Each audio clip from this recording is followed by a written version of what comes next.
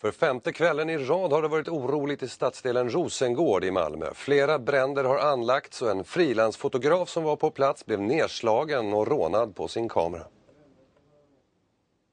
Frilansfotografen Jens C. Hillner har flera gånger under vintern jobbat i Rosengård med att skildra de oroligheter som ägt rum. Och han säger att han har god kontakt med många ungdomar i området. Men sent igår kväll när han jobbade så sprang en person snabbt fram till honom. Han slår mig i ansiktet med knytnäven flera gånger och drar ner mig på marken. Försöker slita åt mig min systemkamera. Selen går sönder. Men jag håller fast vid kameran och då tar han min videokamera istället och sparkar mig i sidan och så springer han därifrån.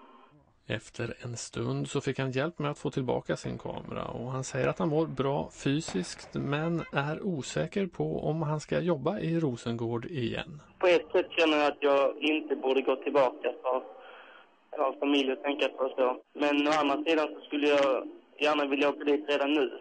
Bara för att visa att jag tycker det är viktigt att man dokumenterar vad som händer oavsett vad man råkar ut för. Det var femte kvällen i rad som det var oroligt i Rosengård med flera småbränder och räddningstjänst och polis avvaktade med att gå in i området. Det är ingenting som är hotat.